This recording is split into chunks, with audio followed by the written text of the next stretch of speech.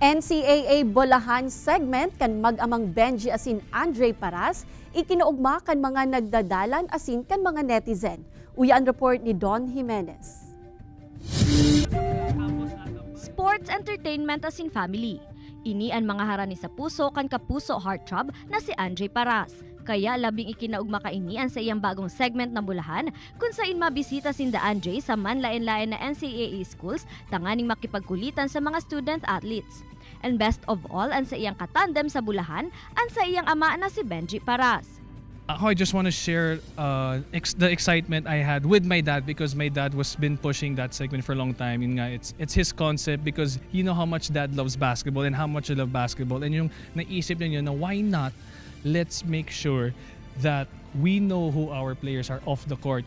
Nag-premiere ang bolahan kan Sabado sa Game On, ang sports entertainment show sa pag-ultanan kan NCAA Games. Ikinaugma man ini kan viewers sa GTV as netizens na excited ng madalan ang masunod na episode. Marami kayong aabangan kasi nga uh, ginagawa po namin yung treatment very light, making sure na makikilala po natin ang, making, ang ating mga iniidolong players sa iba't ibang school. So, yun, sa next episode, of course, hindi pwede ako mag-spoil kung saan pa kami, but you're gonna enjoy it kahit mo, maikli lang yung oras, at least makikilala pa natin ng husto yung mga idol natin sa court. Apwara sa bolahan segment, saro pang blessing ang naresibin ni Andre sa sa iyang pagiging pinakabagong miyembro kan broadcast commentators kan live NCAA games. The feeling whenever I do work and I go with or I work with eh, my favorite actors and actresses sa taping.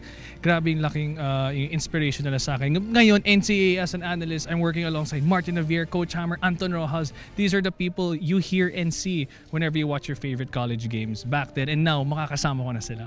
Madadala ng bolahan segment sa Game On sa NCAA live coverage tuyong Sabado asing Domingo sa GTV. Ini si Don Jimenez, Balitang Bicolandia.